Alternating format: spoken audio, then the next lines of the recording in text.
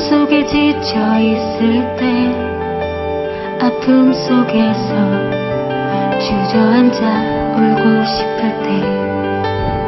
생각은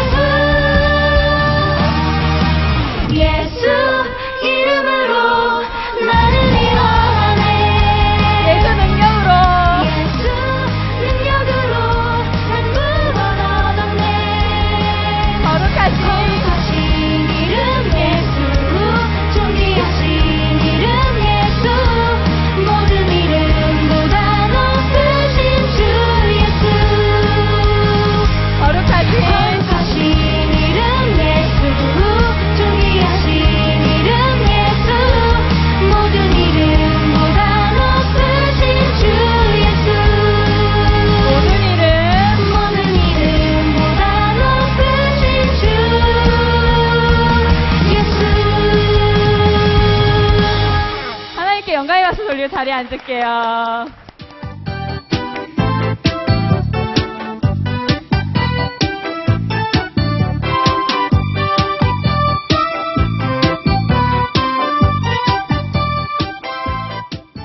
세계관이란 말뜻이 뭔지 알아요?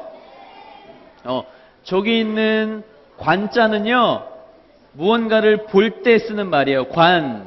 어, 무슨 관 할 때는, 어, 이렇게 나무 관이 아니라요, 내가 무언가를 볼 때 쓰는 말, 볼 관자라고 해요. 그럼 세계 관이면 세계 관이 무슨 뜻이죠? 어. 세계를 바라보는 눈을 가지고 세계관이라고 이야기하겠죠. 그렇죠? 어, 우리 친구들 여기 보니까 안경도 있고 막 색깔 선글라스가 막 있어요. 어떤 안경은 파란색 선글라스, 어떤 안경은 어, 빨간색, 어떤 건 노란색. 자, 그러면 그 안경을 쓰고 세상을 보면 어떻게 보이죠? 어, 그 색깔대로 보이는 거예요. 어, 목사님이 네모난 창문을 통해서 방 안에서 밖을 보면 그 하늘도 네모나게 보이고요. 아니면 동그란 창문을 통해서 밖을 바라보면 세상은 동그랗게 보이는 거예요. 어, 그러면 하나님께서는 우리가 어떤 안경을 쓰고 어떤 눈으로 세상을 바라보기 원하시는지를 나누려고 해요. 자, 어떤 이야기들이 있는지 한번 보도록 하겠습니다. 자, 우리 친구들 누군가를 사랑한다 라는 말 많이 들었어요. 그쵸? 어, 교회 오니까 또 학교에서도 친구를 사랑해야 돼. 그리고 우리가 하나님을 사랑한 것처럼 이웃을 사랑해야 돼. 이런 이야기 많이 들었어요. 근데 성경 말씀에 사랑한다는 이야기가 사랑하라는 하나님의 명령이 많이 나오는데요. 정말 내가 그 말씀대로 사랑하고 살아가고 있는지 돌아보면요. 목사님도 그렇게 하지 못할 때가 참 많은 걸 발견해요. 원수를 사랑해라. 그 말씀 잘 알아요. 목사님 그 말씀 잘 알아요. 목사님도 아주 아기 때부터요. 그 말씀 듣고 지금 이렇게 자라 어른이 됐어요. 그런데 원수를 사랑하는 건 너무너무 어려운 일이더라고요. 알지만 그 말씀대로 실천하면서 사랑하는 건 쉽지 않은 것 같아요. 무엇 때문에 그럴까요? 무엇 때문에? 분명히 말씀에는 원수를 사랑하라고 나오는데 내가 진짜 원수를 사랑할 수 없는 이유는 뭘까요? 우리 안에 뭐가 있어서? 정답. 우리 마음 속에는요, 죄라는 게 숨어 있어서 그래요. 우리 성경 말씀 잘 알고 오늘 예배도 잘 드리고 학교에 가서 왜 내가 친구들에게 하지 말아야 될 욕도 하고 엄마 아빠에게 하지 말아야 될 불평도 하고 선생님께 순종해야 하는데 왜 불순종하게 돼요? 우리 마음속에 뭐가 있기 때문에? 죄가 숨어 있기 때문에 그래요. 네, 오늘 말씀에 보면 우리가 제목에서 보았던 손양원 목사님의 이야기를 오늘 같이 나누려고 해요. 어, 과연 이 손양원 목사님은 도대체 어떻게 살았길래 정말 지금 사랑의 원자탄이라는 별명도 있고 많은 사람들에게 존경받았을까라는 이야기를 오늘 한번 나눠보려고 합니다. 예수님께서 우리에게 이렇게 말씀하셨어요. 너희에게 이르노니 너희는 원수를 사랑하고 너희를 박해하는 사람, 그러니까 너희를 괴롭히는 사람을 사랑해라. 이렇게 말씀하셨는데요. 우리 생각은 어때요? 친구가 1만큼 괴롭히면 나도 1만큼 복수하고 친구가 5만큼 날 괴롭히면 나도 5만큼 되돌려주는 게 우리 사람의 마음이에요. 어, 그래서 우리, 우리나라 옛말에 이런 말도 있어요. 한자에 보면 인과응보라는 말이 있어요. 인과응보가 무슨 뜻이에요? 내가 한 것만큼 되돌려주고 또 되돌려 받는다 이런 말을 어, 이런 말 뜻이 포함되어 있어요. 우리는요. 그러면 친구가 미워하는 마음 주면 나는 미워함, 미워하는 마음 그대로 돌려주는 게 예수님의 말씀일까요? 아니라는 거예요. 그래서 오늘 말씀을 나누고자 하는 거예요. 여기 보니까 손양원 목사님의 사진이 저렇게 나와 있고요. 네, 목사님이 잠깐 소개하면 이 손양원 목사님은요. 얼마나 하나님을 사랑하고 하나님 말씀대로 살았던 분이냐 하면 이 당시에는 누가 우리나라를 지배하고 있었죠? 맞아요. 일본이 우리나라를 지배하고 있었는데 그 일본의 법이 이런 법이 있었어요. 어, 예전에 다니엘 말씀 기억나요? 어, 왕이 세운 신상에만 절해야 된다 이런 법 말씀 기억나요? 맞아. 우리나라가 일본의 지배를 받고 있을 때도요. 그때도 이런 명령이 있었어. 일본 천황을 위해서 절을 해야만 감옥에 가지 않는 그런 법이 있었어. 근데 손양원 목사님은요. 그 일본 천황을 위해서 절을 했을까 안 했을까? 어, 안 했어요. 신사참배라고 부르는, 불렀는데요. 신사참배를 거부한 거야. 나는 하나님을 믿는 사람이요. 나는 일본 천황이 만든 그 신에게 난 절하지 않을 것이요. 그 신사참배를 거절하고 5년 동안 감옥에 갇혀서 지내게 돼요. 그 5년 동안도 신사참배를 끝까지 거부하고 5년 동안 꽉 채우고 나오게 돼요. 나오자마자 어디를 갔을까요? 어, 이번에는요, 여수의 애양원이라는 곳으로 갔어요. 어, 이 애양원이라는 곳은요, 선교사님이 세운 곳인데 어떤 사람들이 있는 곳이냐 하면 지금 여기 그림 보니까 뭐 같아요? 맞아요. 나병 환자. 나병 환자가 지금 어, 병 이름으로 하면 한센병이라는 병 이름이 있어요. 이 병은 어떤 병이냐 하면 피부병인데요. 이 피부가 막 고름이 나고 피가 나고 썩어 들어가는 병이에요. 근데요, 이 손양원 목사님이 그 한센병 사람들이 모여 있는 애양원이라는 곳으로 가게 돼요. 가서 그, 그곳에 애양원 교회를 세우시고 그곳에서 이 사람들을 도와주기 시작하는데 사람들이 의사 선생님도 쉽게 가까이 가지 못하는 사람들을 어루만지면서 기도해 주시고 그 피 고름도 심지어는 빨아서 뱉어서 그렇게 하셨을 만큼 이 나병 환자들 도와주는 그런 일들을 하셨어요. 얼마나 사람들이 감동했을까요? 어, 사람들은 날 거부하고 나에게 가까이 오면 병이 없는데 이 목사님은 이 나병 환자들 정말 정말 사랑하는 마음으로 눈물을 흘리면서 끌어안고 기도해 주시고 그들을 치료하는 것도 도와주셨던 그런 목사님이세요. 지금 이 모습이 그 애양원의 모습이에요. 그리고 거기 있던 사람들의 모습이에요. 목사님도 우리랑 똑같은 사람이에요. 그리고 두려운 마음도 있을 거예요. 목사님은요, 어떻게 해서 그러면 그런 사람들을 도와줄 수 있었을까? 어떻게 해서? 목사님은 전염병 환자들한테 다가가도 전염되지 않는 특별한 능력이 있어서? 아니면 정말 목사님이 마음속에 죄가 하나도 없는 예수님과 같은 사람이라서? 아니에요. 목사님은요, 하나님의 말씀대로 그대로 그 말씀을 그대로 실천하는 마음, 그 마음으로 만났던 거예요. 손양원 목사님도 우리랑 똑같이 마음속에 숨길 수 없는 죄가 있는 사람이었어요. 그런데 말씀을 그대로 믿고 실천하려고 노력했기 때문에 사람들은 우리는 상상할 수 없는 그런 일들을 무서워서 다가가지 못하는, 그런 일들을 목사님은 하게 되셨다라는 거예요. 야고보서 2장 말씀에 이런 말씀이 있어요. 영혼 없이 영혼 없는 몸이 죽은 것 같이 행함이 없는 믿음은 어떤 거다? 죽은 거다. 우리 친구들 오늘 말씀 듣고 있어요. 그렇죠? 목사님도 친구들에게 말씀을 이렇게 전하고 있어요. 근데 오늘 예배당을 나서서 이 말씀대로 행하지 않으면 목사님 지금 이렇게 전하는 말씀은요. 뭐라고요? 죽은 거래요. 죽은 거. 우리 친구들 말씀을 잘 듣고 오늘 또 돌아가요. 집으로 돌아가고 학교로 돌아가요. 그런데 여전히 학교에서 나를 괴롭히는 친구들 똑같이 한 대 때려주고 나를 욕하는 친구한텐 그래? 너도 욕하니까 나도 너에게 똑같이 욕할 거야. 라고 욕하는 친구들은요. 어떤 거래요? 죽은 믿음이래요. 죽은 믿음. 어, 사랑하는 우리 친구들, 우리 친구들의 믿음이 죽은 믿음이 아니기를 바랍니다. 목사님도 이렇게 기도해, 기도해요. 어, 나를 가장 힘들게 하고 어, 나를 가장 미워하는 그 사람을 사랑할 수 있게 해주십시오. 이렇게 기도해요. 손양호 목사님의 별명이 사랑의 원자탄이래요. 우리 친구들 원자탄이 뭔지 알아요? 뭐예요?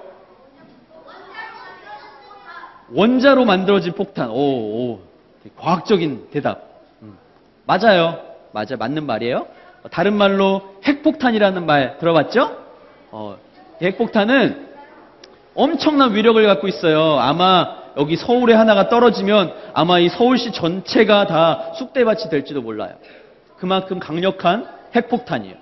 얼마나 손양호 목사님의 사랑의 능력이 얼마나 힘이 얼마나 대단했는지 사람들이 별명을 사랑의 원자탄이라고 붙였대요. 도대체 어떤 사랑을 하셨는지 한번 볼게요. 우리나라가 둘로 나뉘어 지기 전 1948년도에 있었던 일이에요. 어, 그 사건의 이름이요. 무슨 사건? 여순 반란 사건이라는 사건인데요. 이게 무슨 사건이냐 하면 자, 우리나라가 이제 어, 둘로 나뉘어지기 전에 1945년도에 어, 이 사건이 있기 3년 전에 우리나라가 일본에 압제해서 어떻게 됐어요? 해방이 됐어요. 대한독립 만세 해방이 됐어요. 그랬더니 우리나라 저 북쪽에는 어, 공산주의가 들어왔어요. 그 우리나라는 대한민국에는 뭐가 들어왔어요?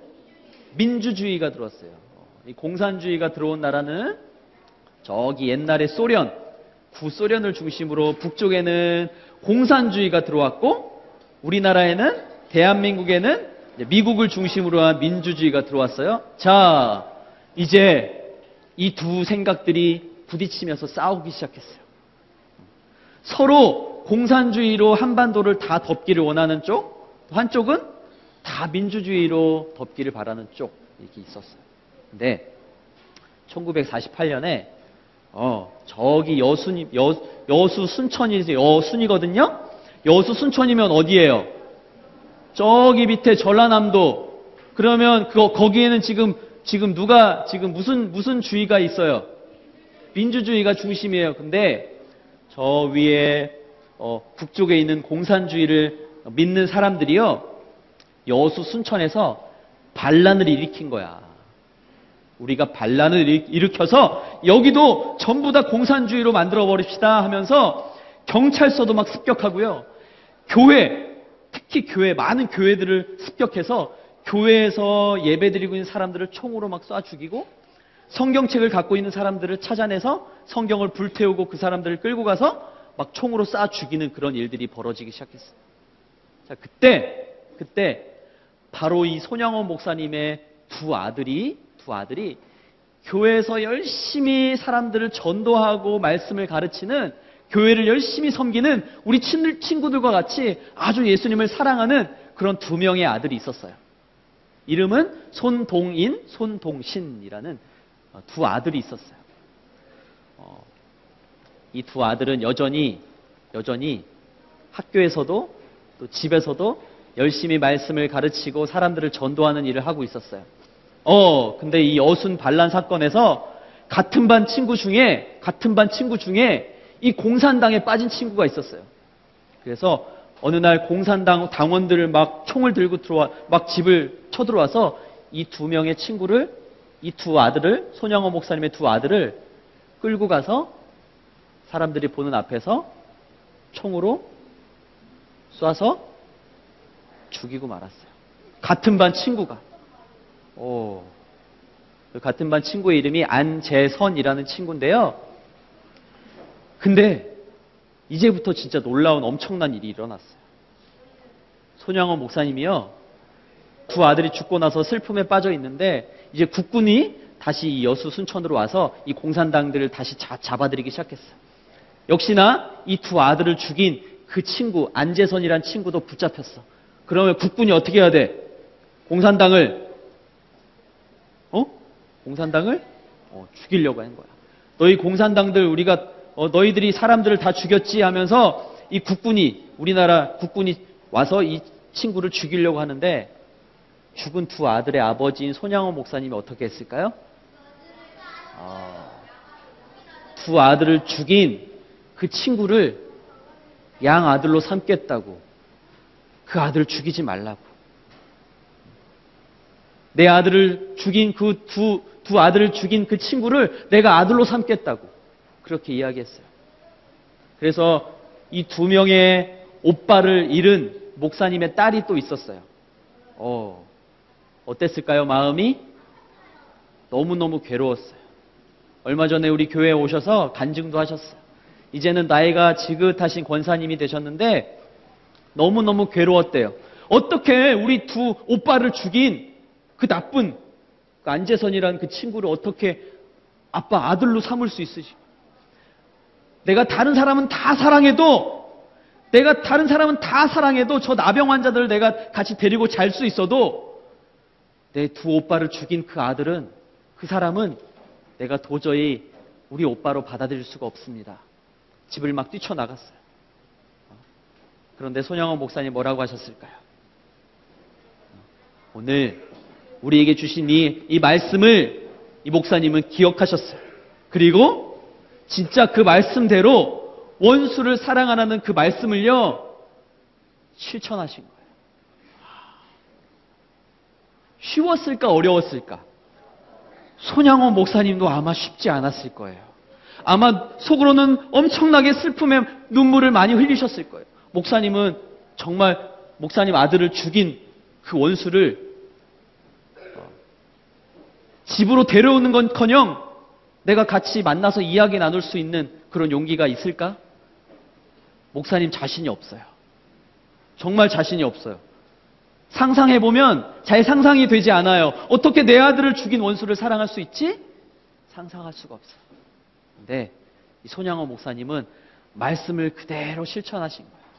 그리고 끝까지 견뎌내셨다라는 거예요.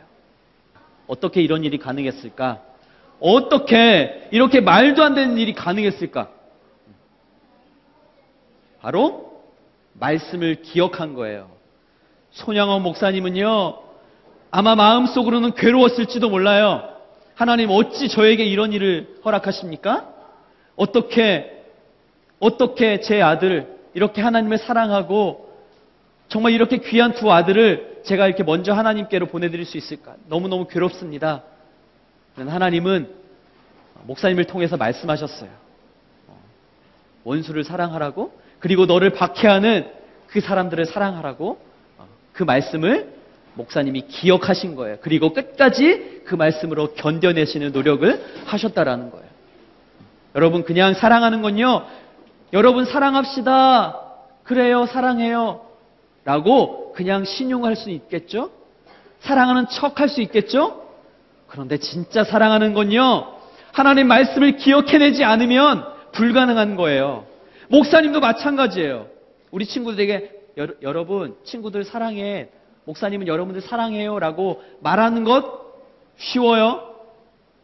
그런데 정말 목사님이 가슴 깊이, 깊이 사랑한다라는 건요. 바로 말씀을 기억하지 못하면 불가능하다라는 거예요. 왜냐하면 목사님 마음속에도 해결할 수 없는 죄의 뿌리가 남아있기 때문이라는 거예요. 사랑하는 친구들, 우리 친구들은 어떻게 말씀을 기억하고 어떻게 말씀을 실천하게, 실천할 수 있겠어요? 학교에 가서, 집에 가서, 친구들을 만나서 어떻게 사랑을 실천할 수 있을, 있을 것 같아요? 시간에 한번 생각해 봤으면 좋겠어요. 우리 친구들, 이 말씀을 기억하세요. 원수를 사랑하고 너희를 핍박하는 사람을 위하여 기도하라. 라는 예수님의 말씀을 기억했으면 좋겠습니다. 그러면 그 누구도 사랑할 수 없는 사람이 없어요. 내 친구가 아무리 내 옆구리를 쿡쿡 찔러도 나를 못 살게 굴어도 그 친구를 사랑하지 못할 수 있는 사람은 아무도 없다라는 걸 기억했으면 좋겠습니다. 그래서 손양원 목사님보다도 더 큰 사랑의 원자탄이 어, 이곳에서도 많이 많이 나올 수 있기를 바랍니다. 아니, 우리 모두가 사랑의 원자탄 같은 사람이 될 수 있기를 예수님의 이름으로 축복합니다. 아멘. 기도하겠습니다. 하나님 감사합니다. 죄도 많고 흠도 많고 연약한 우리들을 불러주셔서 주님 앞에 예배 드릴 수 있도록 인도해 주셔서 감사합니다. 오늘 하나님께서 말씀을 통해 우리에게 들려주셨던 것처럼 우리가 하나님의 말씀을 기억하고 말씀대로 따라 행하고 또 믿음으로 견뎌내어서 많은 사람들에게 하나님의 사랑을 나누어 줄 수 있는 사랑의 원자탄과 같은 손양원 목사님과 같은 훌륭한 믿음의 사람이 될 수 있도록 축복하여 주시옵소서. 우리의 마음은 연약하여서 우리를 미워, 미워 하고 질투하고 우리에게 욕하는 사람들을 사랑하기가 참 어렵습니다. 하나님, 그들을 위해서 기도할 수 있는 우리가 될 수 있도록 축복하여 주시옵소서. 그렇게 하시는 하나님께 감사와 영광 올려드리며 거룩하신 예수님 이름으로 기도드렸습니다. 아멘.